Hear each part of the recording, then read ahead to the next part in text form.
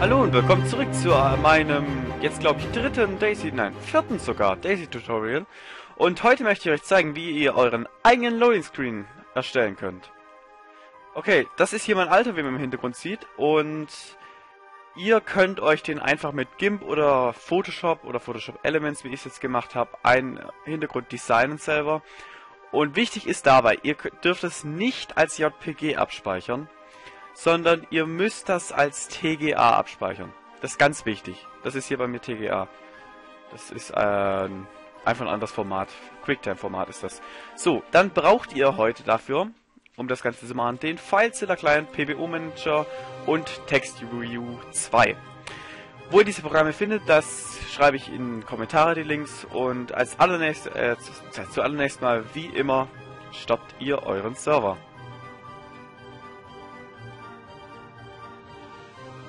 Ich mache das mal ein bisschen leiser. Und dann erstmal in unser Webinterface und den Server stoppen. Render ich noch? Oder warum hängt das so? Ja, ich render noch. Hoppla. Hoppla. Hoppla. Ich will stoppen, nicht restarten. La la la la la la.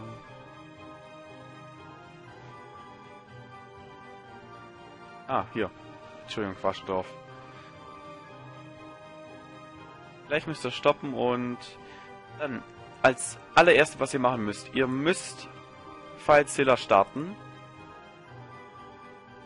und auf euren Server connecten. Dort geht ihr auf Daisy, and Permissions und zieht eure Map raus Kritischer Datenübertragungsfehler. Okay, versuchen wir es nochmal. Jetzt hat es funktioniert. Dann äh, extracten wir die. Ist gestoppt, gut. Und gehen erst, ach, erst einmal laden wir dann TextView 2 runter. Den Link werde ich in die, äh, in die Beschreibung packen und dann ladet ihr das einfach runter und installiert das. Dann, bei euch wird es dann auch wahrscheinlich so aussehen, mit diesem TextView 2 äh, Symbol in dem TGA drüber, dann zieht das einfach auf das Programm drauf. Hier sieht man auch schön te mit TextView 2 öffnen. Dann haben wir das hier. Hier kann man noch mal ein bisschen bearbeiten, aber das wollen wir nicht. Wir wollen nur File, Save As und da geben wir einen Namen ein und zwar als PAA-Datei müssen wir das speichern, weil sonst funktioniert es nicht. Ja. PAA will ich doch speichern. Naja, Nenne ich das einfach Daisy Epoch. Screen. Oh. Und dann haben wir das gespeichert. Jetzt müsste das hier sein. So, da steht auch schön PAA drüber. Dann als nächsten Schritt öffnen wir hier diese, ja, diesen Dings. Unsere äh, PBO-File. Submission und machen einen neuen Ordner. Den nennen wir, ach, wie nennen wir den nochmal? hat mich jetzt... Habe ich hat mich die Musik abgelenkt. Das muss ich jetzt schnell mal nachschauen. Hoffe, das stört nicht. Ja, das ist nicht. Wir nennen diesen Ordner Test. Ja, genau, Test nennen wir diesen Ordner. Oh, die Musik fetzt schön. Test. Und da ziehen wir diese Datei rein und nennen diese ebenfalls Test. Als nächstes wird das hier einfach in den Ordner reingezogen. Und wir müssen jetzt aber erstmal diesen Ordner verlinken, dass das Bild erkannt wird. Also darauf, darauf gehen wir in Description. Und dann haben wir hier Load Screen ist gleich. Und da haben wir schon mal was eingegeben. Und hier wählen wir einfach ähm, ein bisschen dumm. Ich glaube, ich packe die erstmal die Datei. Rechtsklick, PBO Manager, Hack into PBO machen wir das wieder auf. Jetzt haben wir hier den Test. Genau. Und ziehen Description raus. Machen Doppelklick drauf. Und Und jetzt weiß ich nicht mehr, wie ich den Code schreiben muss. Nochmal nachschauen. Dazu habe ich ja meine ganzen Backups. So, das wäre test-test.paa. Es sucht dann im Ordner Test die Datei test.paa. Dann speichern wir das, schließen das, ziehen die Description wieder rein. Oh ne, das ist das falsche. Ziehen die Description hier wieder rein. Ist hier drin. Schließen das, gehen wir in unseren FileZilla Client und ziehen Epoch rein. Überschreiben das, Backup machen nicht vergessen, dann wird es hier schön hochgeladen.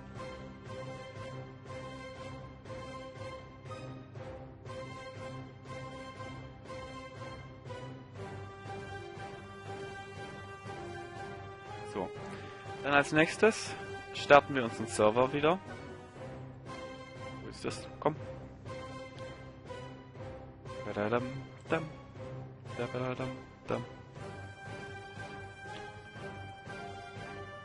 Ich öffne die Seite einfach mal neu. Die hat sich gerade ein bisschen aufgehängt.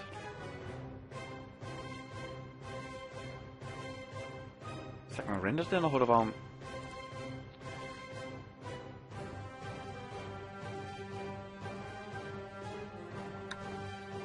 Naja. Error. Invalid Response received. Ach, schließen wir erstmal den Kleid, vielleicht geht's dann. Das ist jetzt dumm. Ich kann es da nicht weiter zeigen.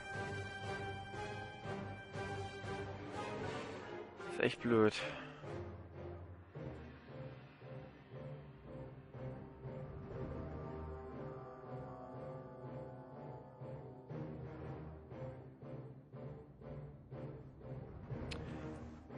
Ist hier los? Versuch's mal hier drüber.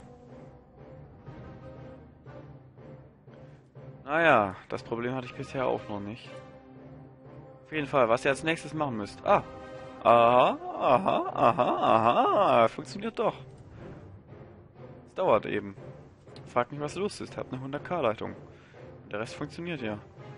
Liegt an der Seite. Naja, wir drücken auf Server starten. Und hoffen, dass er das lädt.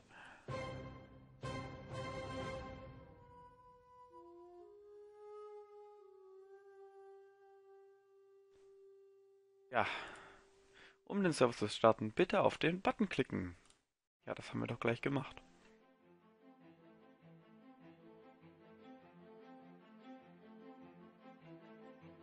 Wer sich fragt, wo die ganze Musik herkommt, einfach mal in YouTube unter Session Studios schauen und dort werdet ihr das finden. So, unser Server ist gestartet.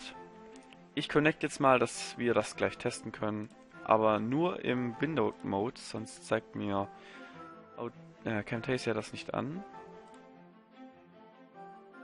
So, unser Server wird hier als weiterhin down angezeigt. Ja, müssen wir wohl noch ein bisschen warten. Hm.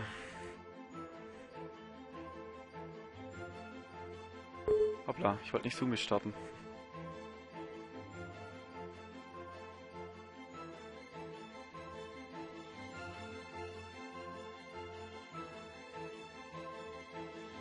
Ja, der Server lässt auf sich warten, wie man merkt.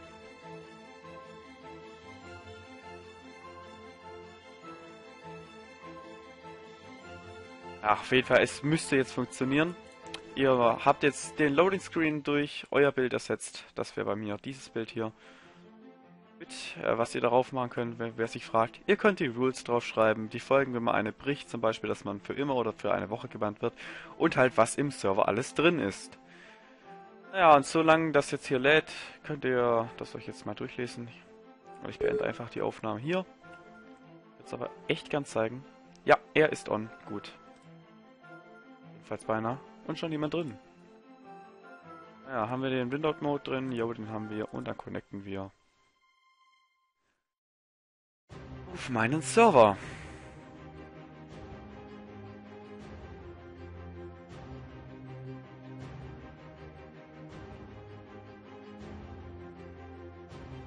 So, wie man sieht, Epoch läuft bei mir.